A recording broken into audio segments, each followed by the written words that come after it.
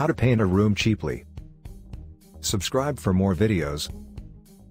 I used to cringe when my wife would tell me to paint the bedroom or redecorate the living room. Doing either of these would cost me a lot of money to get favorable results.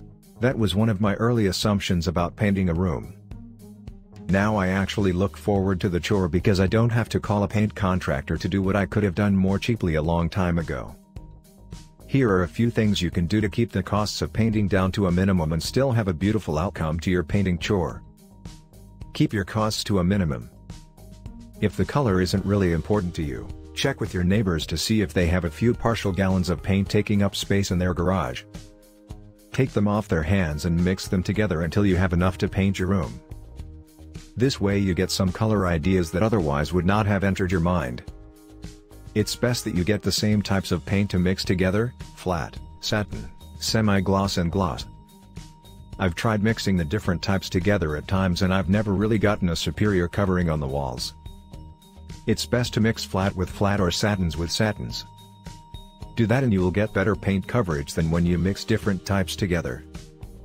Another way to buy paint if you're not picky about color is to buy mismatched paints at local paint stores. Paint stores like to make a few dollars on wasted product, so they will sell them from 3 to $10 a gallon rather than the $20 to $30 a gallon for new paint. Don't get caught up in thinking you need a lot of stuff for your project that you don't. It's easy to believe that you need a new putty knife or a better sanding tool to smooth the spackling paste you use to patch holes. Try using a spatula if you don't have a putty knife. They will work for most small projects even if they are not as manly as a real live putty knife. Sanding tools can be constructed simply by wrapping a piece of sandpaper around a block of wood. If you don't want to borrow one from the neighbors, you may have to buy a roller frame. If you are only going to paint one room, then a cheap one from the dollar store will work.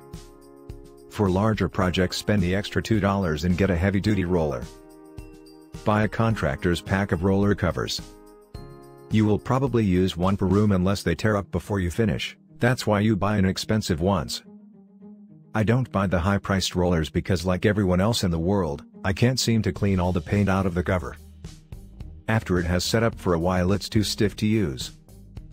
Paint brushes need to fit the kind of paint you're using. Oil paint has sort of priced itself out of the market, so you will more than likely use latex paint. Buy a brush, if you don't already have one, which will hold latex paint. Some folks use paint pads to cut in around the ceiling and openings.